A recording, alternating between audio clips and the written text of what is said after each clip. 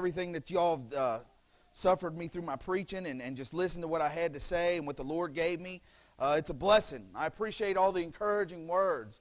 Uh, it means a lot to me that our family members come out. My mom and uh, Amy's cousins came out today, and, and it just means a lot that uh, I got a church family that stands behind me and, and, and is an encouragement to me and, and, and just, uh, just a blessing, just a real blessing uh, that I go to a church that'll give me the liberty to preach, and, uh, and especially a fellow like me, because there's a lot of places that wouldn't let, wouldn't let me preach because of my background and previous reputation. but we talked about the last couple days. We talked about where are you the first night, and we talked about, you know, where are you in relation to the Lord's return and where you might stand and where you fit in and, and where you should be in relation to that return. And last night we talked about who told you and tried to be an encouragement to you about who told you that this wasn't the Word of God and, and who told you. Who told you. God didn't tell you those things. I'll tell you that. If you didn't get it, get that on last night, God didn't tell you. And what I want to talk to you tonight, today, this morning about is why. That's we talked about the two questions that that God asked man, where are you and who told you? Today I'd like to talk to you about why. In Judges 6:13. Judges 6:13 It says, And Gideon said unto him, O my Lord, if the Lord be with us, why then is all this befallen us? And where be all the miracles which our fathers told us of, of saying, Did not the Lord bring us up from Egypt? But now the Lord hath forsaken us and delivered us into the hands of the Midianites. Father, I do thank you, Lord, for the privilege, Lord, of being able to preach here at Orchard Street Baptist Church, Father. Lord, I ask that you help get me out of the way, Lord, and just take possession of this little body, Lord. Not that I'm worthy, Lord, just that I'm willing. Lord, I ask, Lord, you help me, Lord, to bring forth the message that you've given me, Lord, and let me preach it, Lord, in a demonstration of the power of the Holy Ghost, Lord. I thank you, Father, for a perfect book. I thank you for saving me, Lord, that day back there in the prison, Lord. I thank you, Lord, for having mercy on me and sending some of my way to tell me about Jesus Christ. Lord, I ask, Lord, you just help us focus on this word for about the next hour, Lord. And Lord, may your name be magnified and glorified in all things. In Jesus Christ's precious name, amen. Like I said, we talked about where are you and who told you. Today we're going to talk about why. Why is this all happening to me? If the Lord is with me, why does all these things happen? There's a lot of different ways we can go with this message, but there's eh, you know, there's a lot of questions that man always asks whenever we get in a situation where things are bad, we say, "Why, Lord? Why does this happen to me? Why me? Why?" Job 23.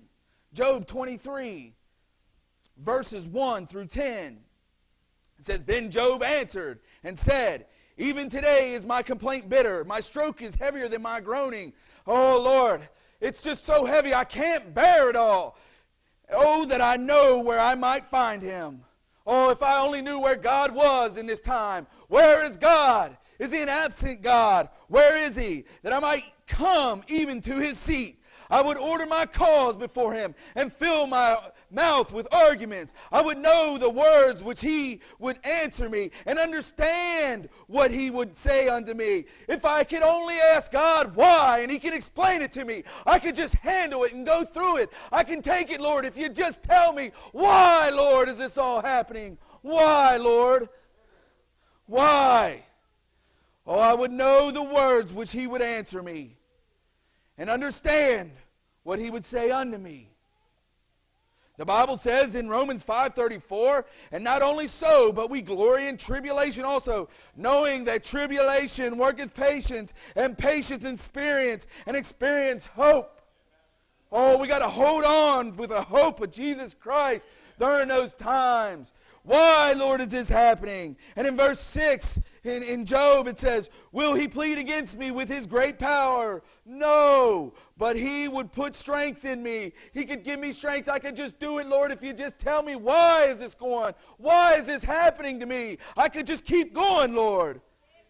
And in verse 7 it says, There the righteous might dispute with him. So should I be delivered forever from my judge. And in verse 8 it says, Behold, I go forward, but he is not there, and backward, but I cannot perceive him. On the left hand, where he doth work, but I cannot behold him. He hideth himself from me on the right hand, and I cannot see him. Lord, I'm looking for you. I'm praying, and I can't get a hold of you. You're not in front of me. You're not beside me. God, where are you? God, where are you? I've had, you know, I'm relatively young. I'll be 35 tomorrow. But I've seen some hard times in my short life. And I've been and, and some of those times I was saved. And I didn't understand why God would let me go through that. Not that I'm special, but I wasn't bothering anybody. Why do I have to suffer these things? Why, Lord? Why? Oh, in verse 10, there's a reason why. But he knoweth the way that I take. Oh, my friend, the Lord knows what you're going through today.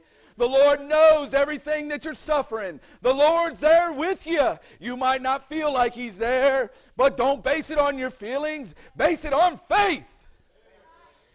Faith that Jesus Christ said He'd never leave you nor forsake you. He's going to be through you, with you through the hard times, through the good times, through all the times until He comes back, and then you'll get to be with Him if you're saved.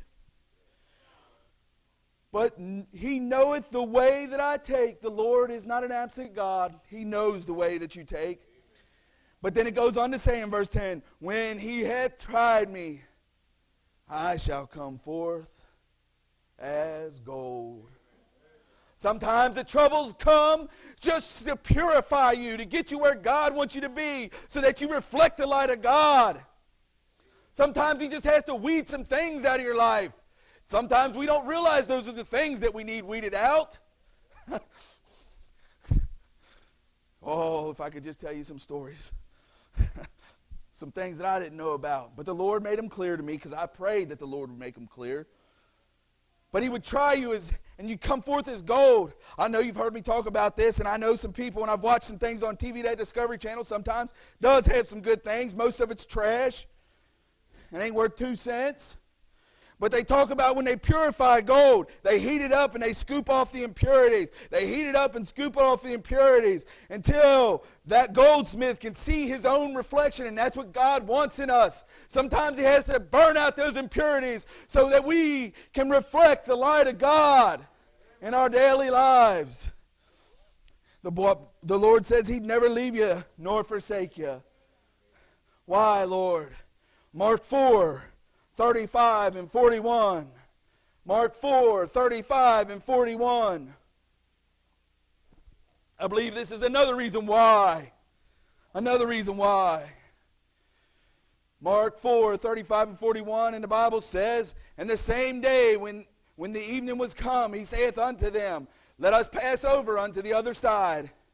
And when they had sent away the multitude, they took him, even as he was in the ship, and there were also with him other little ships.